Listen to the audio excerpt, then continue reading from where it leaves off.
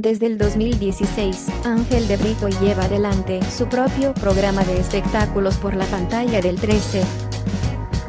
A lo largo de los años, Los Ángeles de la Mañana se ganó un importante lugar, sobre todo por las primicias que fueron contando las angelitas. Sin embargo, ayer, el conductor paralizó al mundo del espectáculo con una fuerte noticia sobre el futuro del programa. Durante la última emisión de Los Ángeles de la Mañana, Ángel de Brito sorprendió a todos los espectadores al contar que Maite Peñonori, una de las angelitas, dejaría de trabajar en el programa.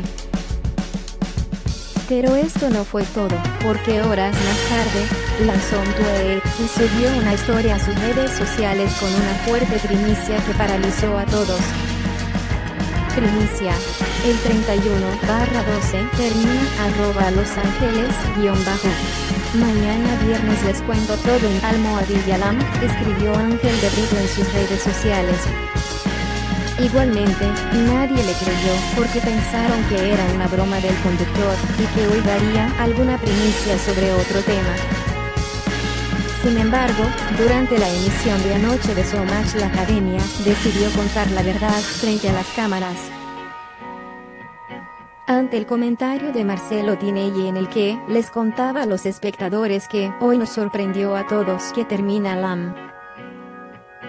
Rápidamente, Ángel comentó. Sí, terminamos el 31, a fin de año. Sin entender por qué el periodista estaba haciendo esto, Marcelo le pidió si puede contar algo en ese momento, pero Ángel explicó que lo va a explicar hoy en su programa. Sin embargo, igualmente sentenció. Es así, terminamos. A lo que Marcelo Tinelli expresó que pensó que era un chiste, como le sucedió a todos los espectadores.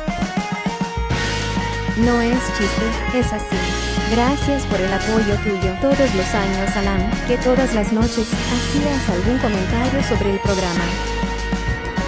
Así que es parte tuyo también el éxito.